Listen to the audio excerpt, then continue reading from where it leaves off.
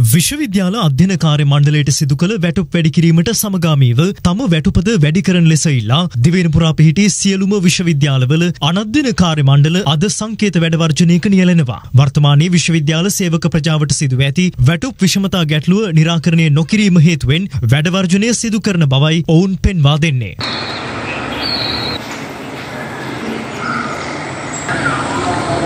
මේ සඳහා කඩිනම් අවධානය යොමු කළේ නැත්නම් අකණ්ඩ වැඩවර්ජනයක් ක්‍රියාත්මක කරන බවත් අන්තර් විශ්වවිද්‍යාල වෘත්තීය සමිති මහා සම්මේලනයේ සභාපති ජී.කේ රුවන් කුමාර සඳහන් කළා. මේ මොහොතේදී ආණ්ඩුව අත්නෝමතික ලෙස එක් පාර්ශවයකට පමණක් ඉල්ලීම් ලබා දීම තුළ විශ්වවිද්‍යාල පත්තියේ සියල්ලටම යම් අසාධාරණයක් සිදු වෙලා තිබෙනවා. ඒ කළ පාර්ශවය පිළිබඳව අපේ කිසිම ගැටලුවක් නැහැ. නමුත් දීර්ඝ කාලයක් තිස්සේ තිබෙන අපේ ගැටලු විහිඳු නොවීම තුළ විශ්වවිද්‍යාල 17ම මේ වන විට උතුරු නැගෙනහිර ඇතුව සංකේතවත් වැඩවර්ජනය අද ආරම්භ කරලා තිබෙනවා.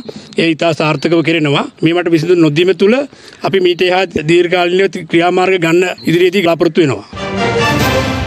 රටේ ලෝකෙ සිදුවන උණුසුම් පුවත් දැනගන්න සියත නිවස් YouTube channel එක අදම subscribe කරන්න.